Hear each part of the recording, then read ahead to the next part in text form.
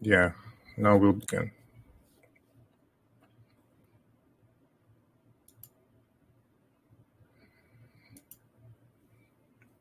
What is needed to gauge order flow?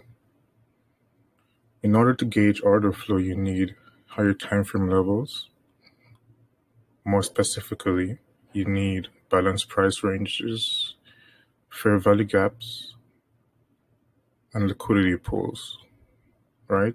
Which is basically old highs or old lows, either of those. I have listed these in the order of importance.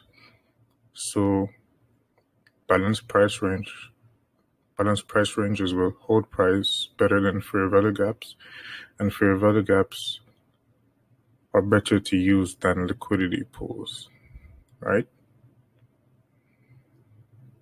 These will serve as the base of your setups, right? So whenever you are going into price action and you want to trade, you need a higher time frame level, either a balanced price range, fair value gap, or an old high or old low.